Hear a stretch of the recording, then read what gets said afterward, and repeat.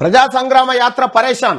బండి పాదయాత్రతో తెరాసాలో కలవరం బీజేపీకి పెరుగుతున్న గ్రాఫ్ టీఆర్ఎస్లో టెన్షన్. అందుకే దేవరప్పల్లో దాడులు పరకాల్లో బీజేపీ నేత కాచం గురుప్రసాద్ పై అటాక్. వెయ్యి కిలోమీటర్ల యాత్ర పూర్తయినందున తెరాస నేతల strong warning.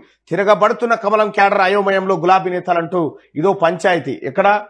BJP padayatra TRS అడ్డగింత. ఇదో ఉద్యమం ఇదో మరో ఏది? భారత స్వతంత్ర పోరాటం అనుకునేది కాదు ఇది. పార్టీల స్వతంత్ర పోరాటం ఇది. తెలంగాణ ఉద్యమ సమయంలో తెలంగాణ ఉద్యమకారులు ఎప్పుడైనా కూడా సమైక్య పాలకులు వచ్చినప్పుడు ఈ తిరుగుబాటు త- తనంలో చేస్- చేస్తుండేది. సో ఇప్పుడు నిన్న మీరు కంప్లీట్ కూడా వికారాబాద్ సీఎం స్పీచ్ చూసినప్పుడు మోడీ బీజేపీ జెండాలు బీజేపీ నాకు అడ్డం వస్తారా నీకు నిలువ వస్తారా జెండాలు పట్టుకుని ఎట్లా వచ్చారు? అక్కడేమో టీఆర్ఎస్ బండి సంజయ్ యాత్రకు అడ్డం పోతారు. ఇక్కడేమో బీజేపీ వాళ్ళు సీఎం సభకు అడ్డుపోతారు. మొత్తం వార్తలన్నీ కూడా గిట్లే ఉంటాయి. బీజేపీ ఇప్పుడు మనం ఇక్కడ కీలకమైన పాయింట్ తెలంగాణ ఉద్యమంలో తెలంగాణ రాష్ట్రాన్ని మొత్తం ఆంధ్రోలు వచ్చి దోసుకపోయారని చెప్పి చెప్పారు.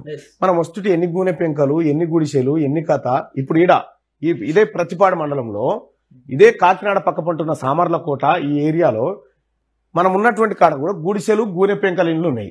మరి దోసుకపోతే వీడు బంగ్లా ఎందుకు కట్టలేదు? లేదు దోసుకపోయినోడెవడు?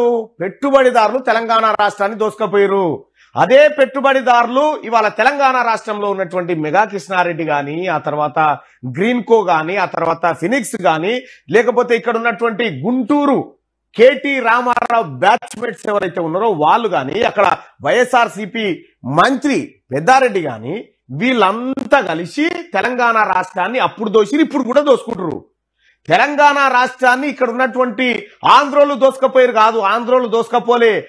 ఆంధ్రలో ఉన్న పెట్టుబడిదారులు దోసుకపోయారు. తెలంగాణ రాష్ట్రంలో పేదోడు ఏ పరిస్థితిలో ఉండో ఆంధ్రలో కూడా అదే పరిస్థితిలో ఉన్నాడు. ఇప్పటిదాకా కూడా పొద్దున